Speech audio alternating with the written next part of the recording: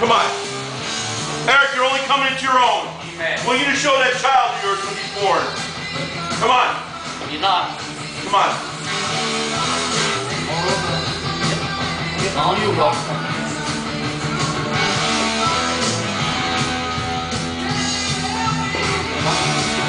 One, two, up, out, control, pull it in. Nice job, Eric. Yeah.